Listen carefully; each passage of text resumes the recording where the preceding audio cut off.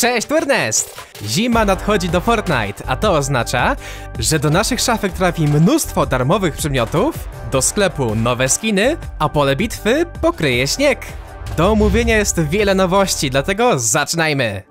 Zacznijmy od tematu nowych, wyjątkowych skinów, ponieważ światło dzienne ujrzało kilka ekscytujących nowości. A więc, jak już pewnie wiecie, w Fortnite jest coś takiego jak ekipa Fortnite. Co miesiąc członkowie ekipy Fortnite otrzymują limitowane skiny, fałdolce i karnet bojowy. Skinem pierwszego miesiąca jest Galaxia. Jesteśmy już w połowie tego pierwszego miesiąca i jako iż styczeń jest tuż za rogiem, w plikach gry pojawił się zestaw drugiego miesiąca. Na PC-tach na dzień dzisiejszy zestaw drugiego miesiąca jest zaszyfrowany. Ale co ciekawe, niektórzy otrzymali go przedwcześnie na konsolach, ponieważ na konsolach ukryte skiny nie są szyfrowane. Oto Green Arrow, super bohater z uniwersum DC, którego niektórzy z was pewnie kojarzą z serialu na Netflixie. Arrow wraz z jego plecakiem i zbierakiem trafi do szafek członków ekipy Fortnite w styczniu. Jak już mówiłem, niektórzy otrzymali ten pakiet przedwcześnie na konsolach. To oczywiście była pomyłka ze strony twórców gry. Nowy miesiąc ekipy oficjalnie rozpoczyna się dopiero 1 stycznia. Jeśli otrzymałeś tego skina przedwcześnie, to powinien zostać w twojej szafce. I nie, nie ma za to bana.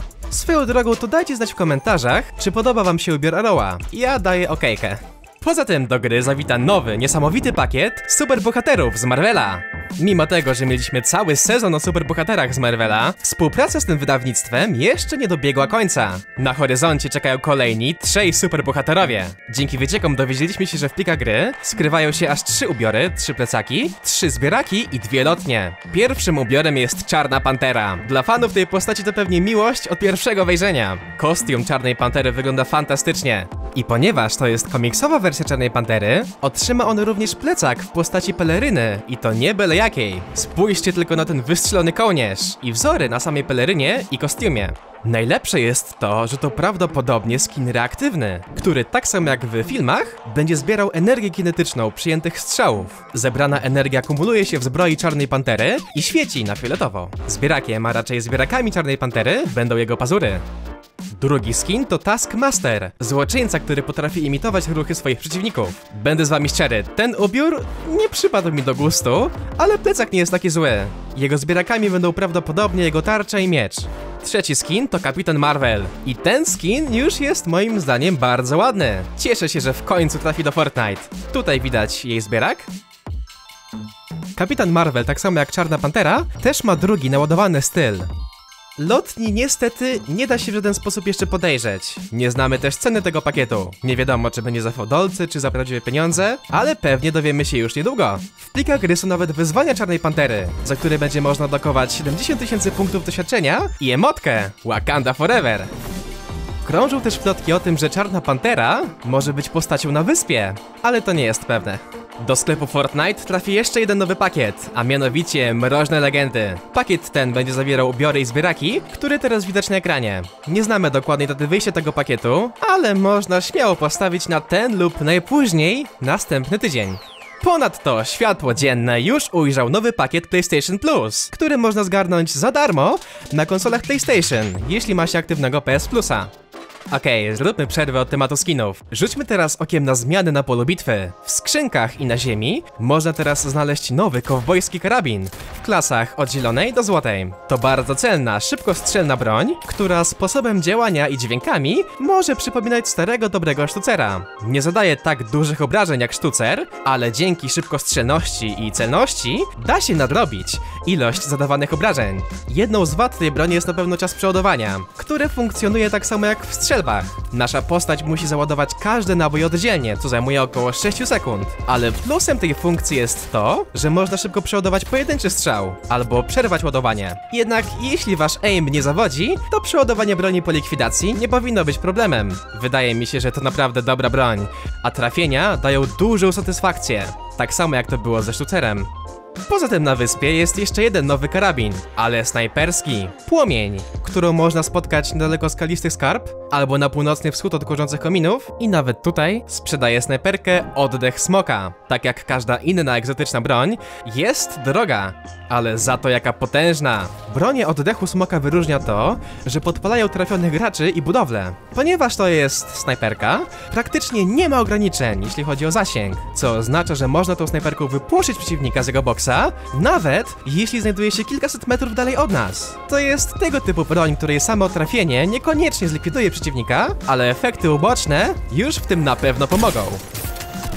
Ogień w Fortnite jest bardzo destrukcyjny, a do tego od razu bije zdrowie zamiast osłony, więc w burzy to bardzo niebezpieczne narzędzie. I pamiętajcie, że wasz ogień was też bije.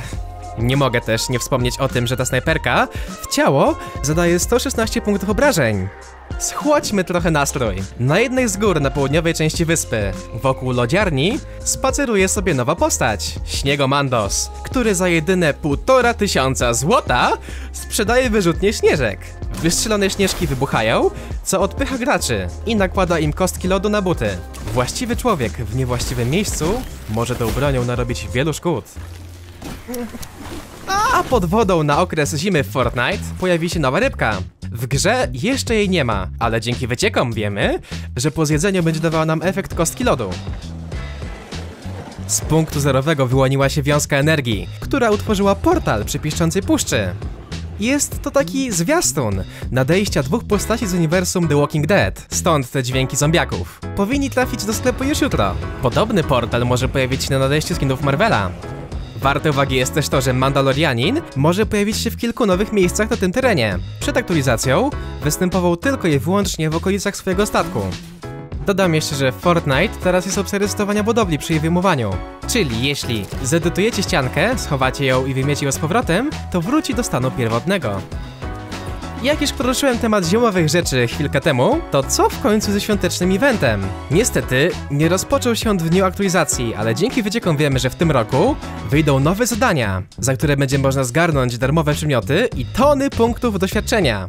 W tym roku zimowy event nosi tytuł Operacja Zadymka. Twórcy gry dadzą nam kilka tygodni na wykonanie 16 wyzwań, które powinny wychodzić po kolei dzień po dniu. Operacja Zadymka oferuje punkty doświadczenia, dwa darmowe ubiory postaci, dwa plecaki, dwa zbieraki, lotnie, dwa malowania i dwa ekrany wczytywania. Za wykonanie 8 wyzwań zadymki otrzymuje się skina Śniegomandosa, a za wykonanie 12 wyzwań skina Frost Squad. Darmowe skiny jak to darmowe skiny, nie są niesamowite, ale Frost Squad jest akurat moim zdaniem niezła. Wyzwania operacji zadymki powinny wejść do gry w tym tygodniu. Wraz z nią wrócą samoloty i tryby okresowe. Wśród tych trybów okresowych będzie też nowy, o nazwie Shockwave, w którym bronie nie zadają punktów obrażeń, a odrzucają przeciwników. Im więcej gracz został trafiony, tym bardziej zostanie odrzucony. Wygrywa ta drużyna, która odrzuci resztę do burzy i przeżyje. Operacja Zadymka to nie wszystko. Wczoraj o 15 aktywowano tryb okresowy Szpieg wśród nas. W skrócie, działa na zasadach gier typu Among Us. Są zwykli ludzie i szpiedzy. Jedna strona musi wykonywać zadania, a druga zlikwidować resztę, bez wzbudzania podejrzeń. Wraz z nowym trybem pojawiły się wyzwania, za które można zgarnąć kolejne darmowe przymioty. To bardzo jasne i łatwe wyzwania. I między innymi z tego powodu warto dać szansę temu trybowi. Pakiet muzyczny nieźle wali. Dalej, ta aktualizacja wprowadziła też kilka poprawek w wydajności gry. Gracze na konsolach nowej generacji mogą teraz grać w 120 FPS-ach, przez co gra staje się mega płynna. Im więcej FPS-ów, tym lepiej. Gracze na PC-tach za to mogą uruchomić w ustawieniach gry tryb poprawionej wydajności. Kosztem grafiki zwiększą się FPS-y w grze. To, czy warto ten tryb uruchomić, już zależy od każdego gracza indywidualnie. Polecam to każdemu, kto próbuje wycisnąć jak najwięcej FPS-ów, albo ogólnie jeśli Fortnite działa tak sobie. Fortnite przygotowało coś również dla osób chcących polepszyć grafikę. W ustawieniach Fortnite w Epic Games Launcherze na PC-tach można włączyć opcję tekstur wysokiej rozdzielczości. To dobra opcja dla graczy, którzy mają monitory o rozdziałce 2K lub wyższej. Ponieważ ja gram na 1080p, nie widzę sensu pobierania tych tekstur. Na koniec, to są wszystkie niezaszyfrowane nowe ubiory, które powinny zawitać do sklepu za fodolce. Moi faworyci to pani Elf, która powstała na podstawie konceptu do niego, i pan Lizak, z uwagi na jego niesamowitego wąsa. A to są dwa pakiety świetlistych skinów. Są to dwa oddzielne pakiety. Przypuszczam, że będą za fałdolce. Ten skin za to będzie częścią nowego pakietu ratowania świata. Są jeszcze dwa nowe pakiety muzyczne.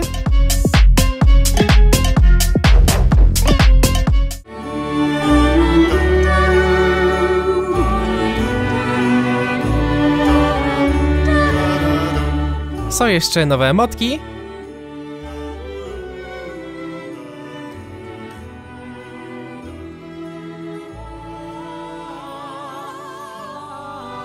I to w sumie tyle. Ja już dziękuję za oglądanie i do zobaczenia w Bosie Bojowym.